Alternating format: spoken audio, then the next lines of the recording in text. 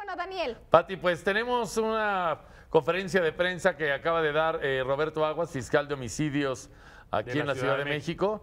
Y vea usted todo lo que se dice en relación al homicidio de Fabio Melanito, padre del hijo de, bueno, de la niña, de Antonella, de, de Ivonne ¿eh? Montero. Qué tragedia. ¿Cuáles son las líneas de investigación más fuertes del homicidio de Fabio Melanito? Mire, tocante a ello, eh, nosotros ya trajimos eh, la carpeta de investigación, ya lo estamos trabajando en la Fiscalía. Eh, todas las líneas de investigación se encuentran abiertas, definitivamente. Tenemos que verificar ahí el entorno social, personal, laboral, y vamos a continuar con todas las líneas abiertas. él presenta cinco heridas producidas por disparo de arma de fuego, primordialmente en la cara, en la cabeza y en la parte de la espalda. ¿Se descarta entonces el robo? Definitivamente es una agresión directa la que tuvo esta persona, de acuerdo a las, a las investigaciones que contamos en la carpeta de investigación, los testigos que han sido entrevistados señalan directamente esa agresión, no hay ningún otro tipo de móvil. Una de las líneas de investigación es el no pagar una deuda económica. Eh, vuelvo a reiterar, cualquier línea de investigación está abierta. ¿Qué momentos? Hay algunas versiones de que señalan que estaba esperando a su novio. ¿Esto es verdad? Él se encontraba con una persona femenina. Tenemos que verificar si tenía algún tipo de relación sentimental con el hoyo oxiso. ¿Ella ya declaró? Nosotros estamos entrevistando a esta persona en la fiscalía en estos momentos. ¿Hay imágenes en las cámaras de videovigilancia?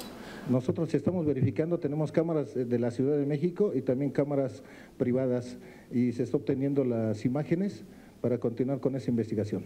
¿Qué va a pasar con el cuerpo, licenciado? Él es venezolano, sus padres están en Italia y no hay nadie que reclame el, el cuerpo familiarmente hablando. Estamos, estamos en comunicación constante, tanto con el cónsul de, de Venezuela como con el cónsul de Italia y además él tenía ya un documento de residencia aquí en la Ciudad de México. Si nadie lo reclama, ¿qué es lo que pasaría? Miren, e, en ese aspecto descarto esa posibilidad porque ya tenemos comunicación, reitero, con el cónsul de Italia, donde se encuentran actualmente sus señores padres. Hay una ex esposa, ¿ella podría reclamar el cuerpo o definitivamente no?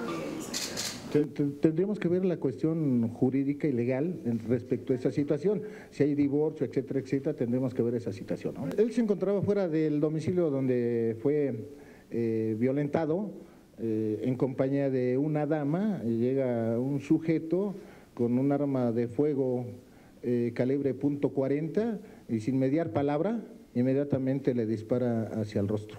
encontramos tres casquillos percutidos calibre .40.